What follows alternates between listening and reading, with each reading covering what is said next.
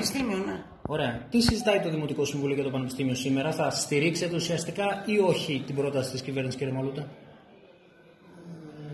Δεν μας ενδιαφέρει η πρόταση της κυβέρνησης, καμιά πρόταση της κυβέρνησης.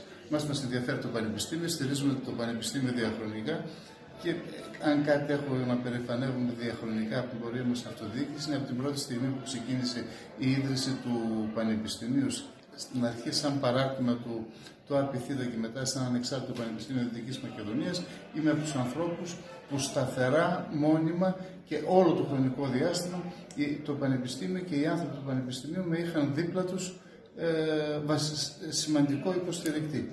Το θέμα σήμερα έρχεται σήμερα μετά την ε, προημερησίας ε, δήλωση που είχα κάνει ε, στο Δημοτικό Συμβούλιο σχετικά με την θέση μας με, την, ε, με τις νέες σχολές που ε, αναστάλθηκε η, η, λειτουργία. η λειτουργία τους. Ε, όπως σας είπα, οι σχολές αυτές, πολλές από τις οποίες μπήκαν με τροπολογία το βράδυ που ψηφιζόταν στη Βουλή, δεν είχαν καμιά προετοιμασία για να λειτουργήσουν από φέτος. Εξάλλου ήταν σε σχέση με το γνωστικό αντικείμενο του Πανεπιστήμιου, ήταν αρκετά μακριά από, την, ε, από το γνωστικό τους ε, αντικείμενο με την έννοια να μην υπάρχει καμία ε, υποδομή εκπαιδευτική για να μπορεί να στηρίξει αυτή την, τη διαδικασία. Εμάς μας ενδιαφέρει ένα, ένα πανεπιστήμιο δυνατό, ένα πανεπιστήμιο εξωστρεφές, ένα πανεπιστήμιο το οποίο θα βλέπει ε, προς τα Βαλκάνια, ένα πανεπιστήμιο το οποίο θα παίζει κυρίαρχο ρόλο την επόμενη μέρα της περιοχής, την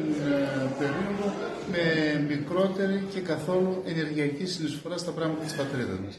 Για όλους αυτούς τους λόγους ήμασταν, είμαστε και θα είμαστε πάντα αρρωγοί στις πρωτοβουλίες και στις προσπάθειες του Πανεπιστημίου και σε συνεχή διάλογο μαζί τους θα φροντίζουμε ότι, ώστε οι επιλογές τους να είναι συμβατές με το μέλλον της περιοχής.